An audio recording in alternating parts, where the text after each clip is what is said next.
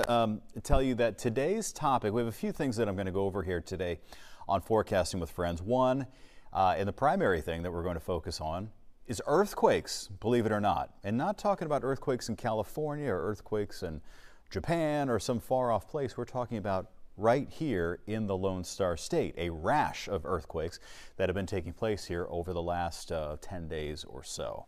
Um, so we're going to talk about that. The other thing is uh, we have some Saharan dust that's moving into our area that I think you'll start to notice this afternoon.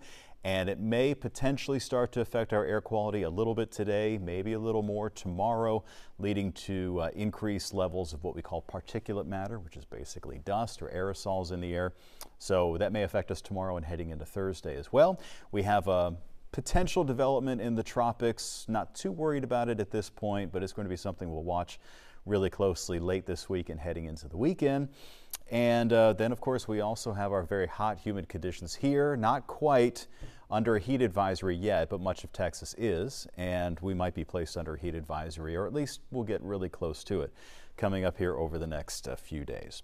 So I have queued up here on the weather graphics uh, a look at um, these earthquakes that have been occurring. And uh, we are waiting on an expert who's going to be joining us here in just a moment, and I'll introduce you to him whenever we get him online. Hopefully, will be momentarily. But what I have plotted here are all of the earthquakes that have been observed by the U.S. Geological Survey over the last 10 days. Now, look where those earthquakes have been. California, you'd expect to see a lot of them. Now, keep in mind, this goes all the way down to magnitude one.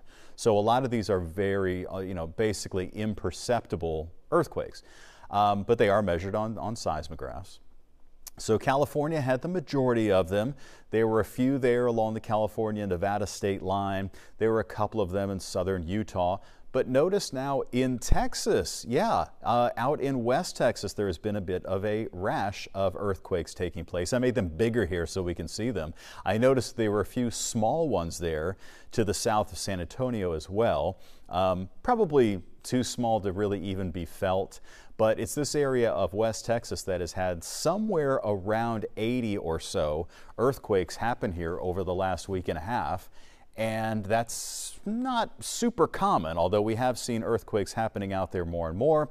There have been some out there on your way out to El Paso, and then a flurry of them have been taking place in this area, which is uh, near um, Abilene. This is just off to the west of Abilene, Texas, and uh, this is a an area that's very heavily used for oil and gas exploration.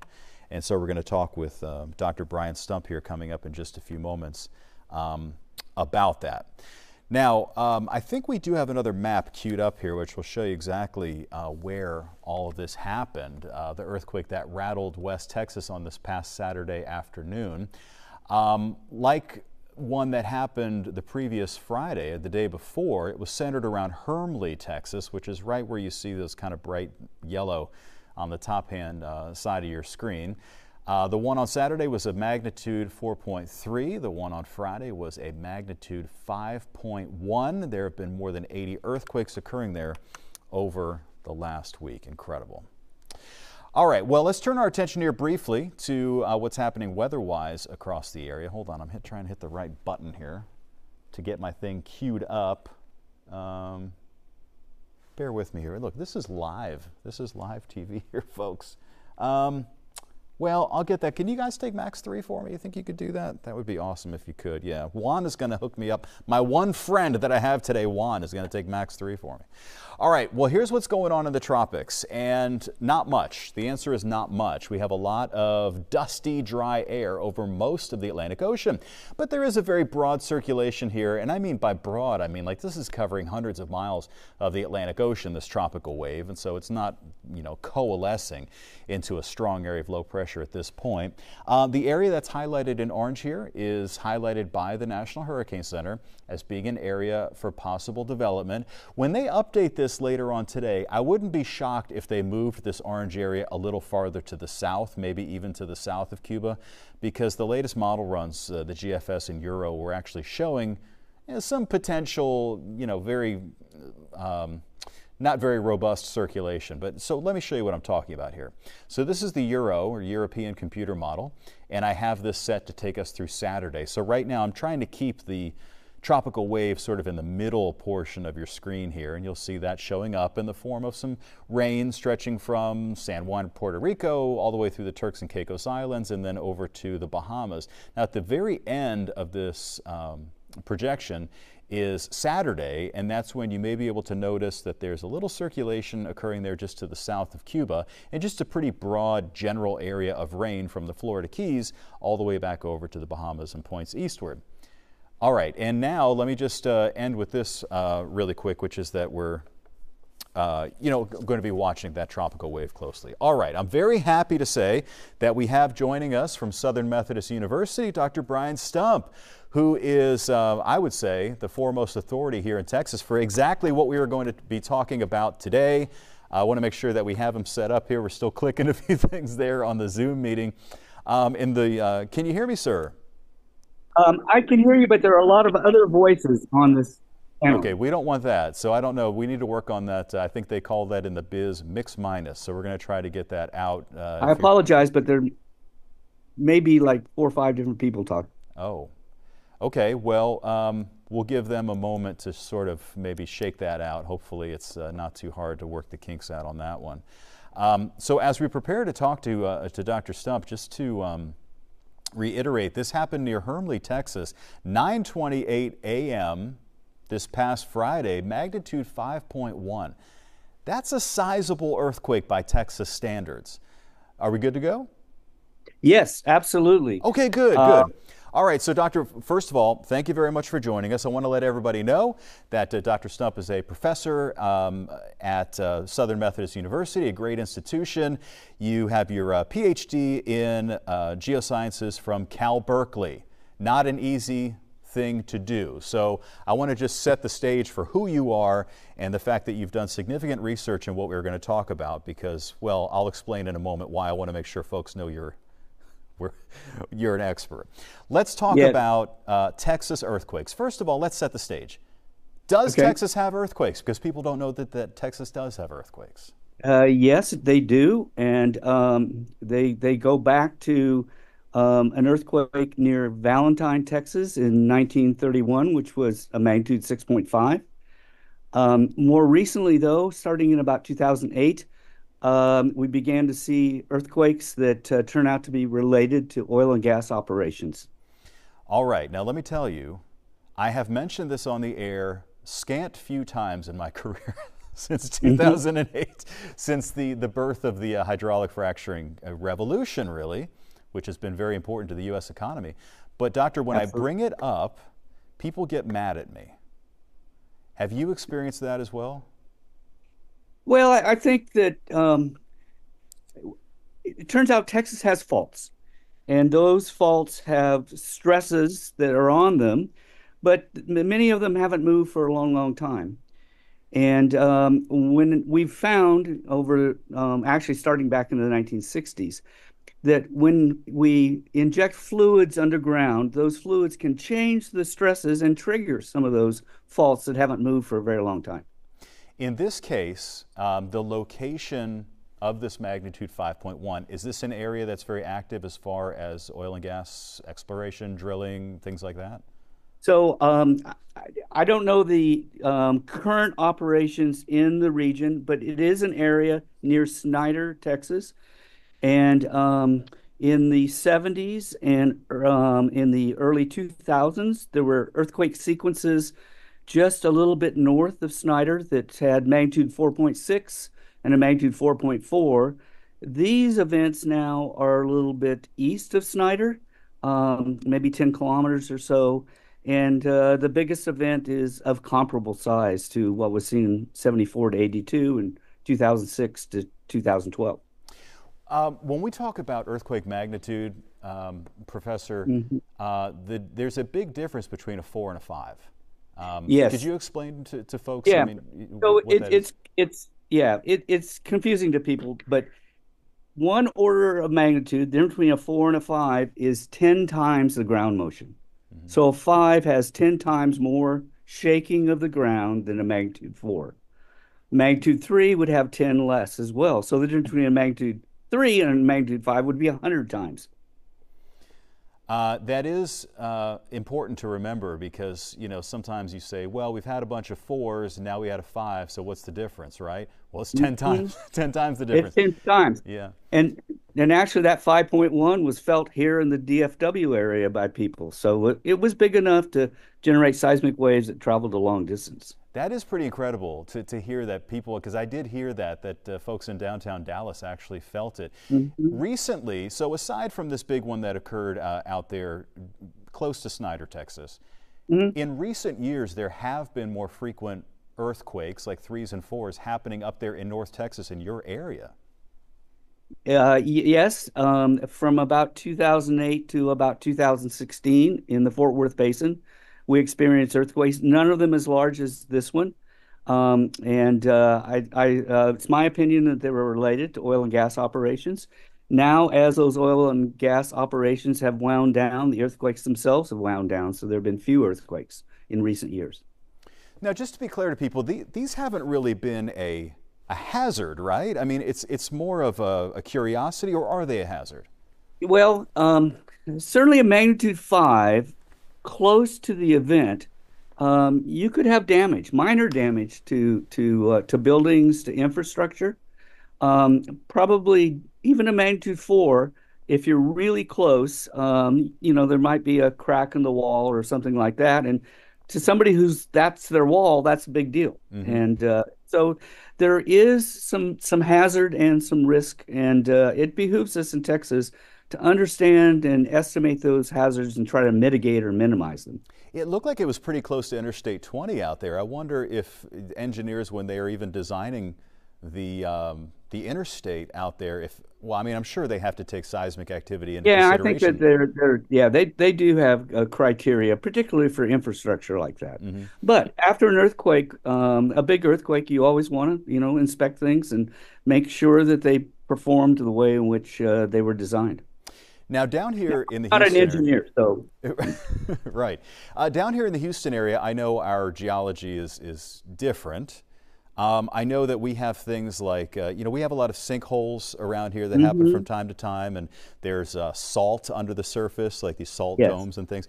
So we can get small ones here, can't we? I mean, I've never felt one. I've never heard of anybody feeling one. Yeah, there there could be, um, and historically, um, I think if we go back over a hundred years, there've been some small events, but uh, not as uh, much activity as we as we see right now out in West Texas. Well, it's amazing. Before I want to ask you one outside the box question, and I'm asking you this because people on social media ask this question, okay, and have asked me this question, believe it or not, and mm-hmm. they're you know how social media is, uh, Professor. I mean, there's a lot of crazy stuff on there all the time. And it just happened to coincide that the, the two recent um, total solar eclipses um, made an X over the New Madrid uh, fault line up there in Missouri.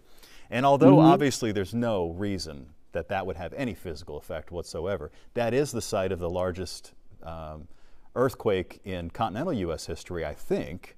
So, yes, um, what are um, your thoughts about the, the seismic activity on that fault line? Because it seems to have the internet a buzz.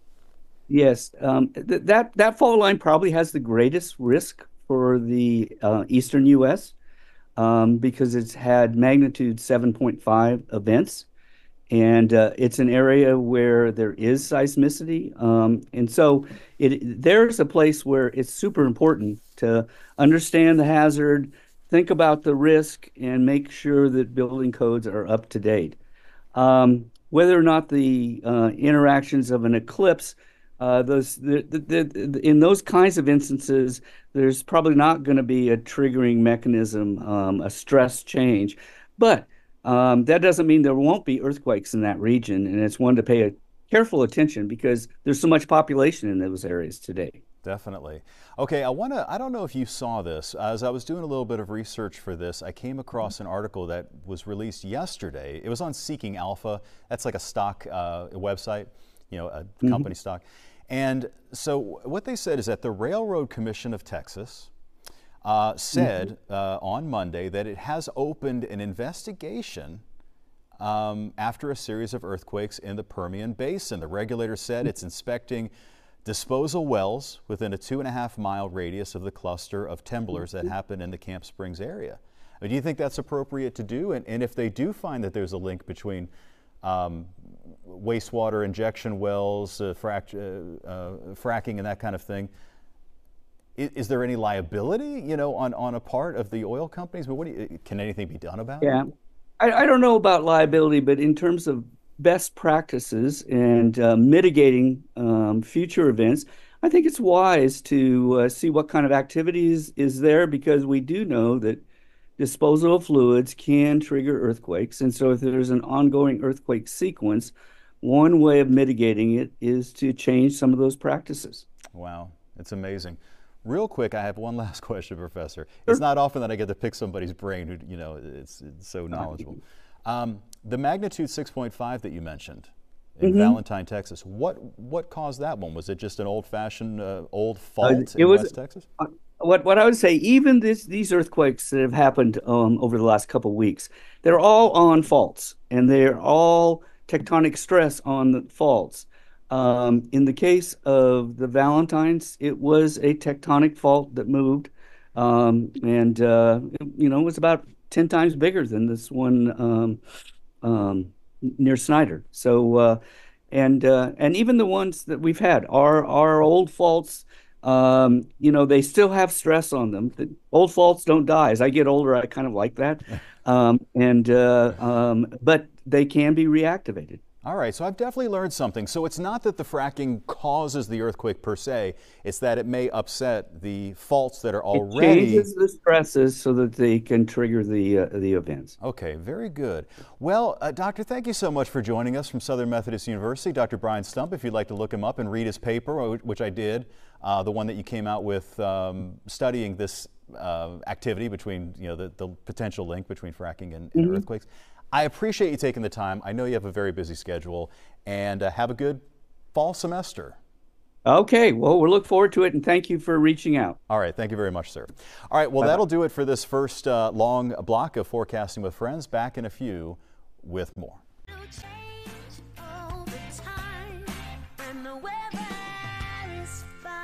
All right. Well, fingers crossed we don't get any earthquakes around here anytime soon, although I think that was a really, really interesting uh, bunch of information from the professor. Moving on now to weather. Severe weather moved through the state of Tennessee yesterday. Check this out. You got to come to your screen and take a look at this. Look at right there at the middle of your screen what happens to that trailer. Bam! Um, an apparent tornado hit Middle Tennessee State University. This is surveillance camera footage uh, that shows this you know, small, certainly what appears to be a twister rolling through that campus. Campus is located in Murfreesboro, which is southeast of Nashville. By the way, the Nashville area, no stranger to tornadoes. It's actually pretty frequent uh, that it happens around here. The tornado tossed around an equipment trailer. This was located outside the football stadium. Luckily, no one was inside the equipment trailer and there were no reports of any injuries from Middle Tennessee State University. By the way, there's been a lot of active weather there in Tennessee, including some serious flooding that happened at Dollywood. It was not, not good to see either. So luckily nobody was injured in that tornado. Now we want to talk about the ongoing tremendous wildfire that has been impacting California. Yeah, this is the park fire that now has burned 585 square miles. That is approximately the size of the entire city of Houston. That's how much has been burned. Uh, they've been working very, very hard to get this thing under control. As of yesterday, it was only 12% contained. Um, and this continues to not just burn, you know, valuable uh, forest land out there in California, but it also is spreading smoke across much of North America.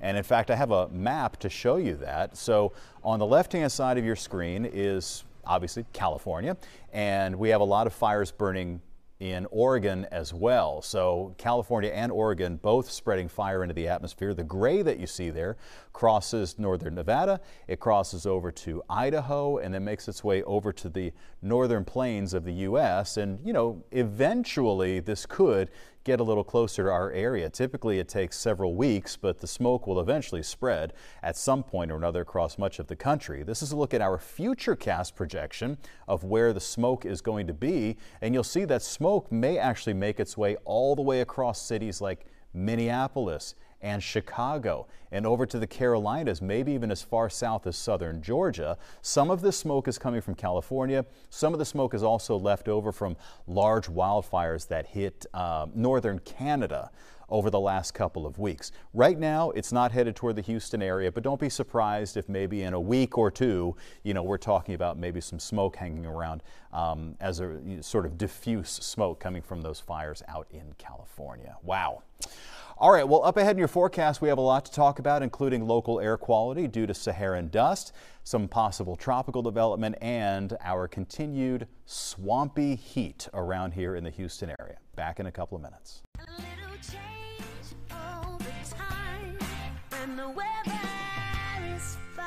All right, well, let's talk about weather here.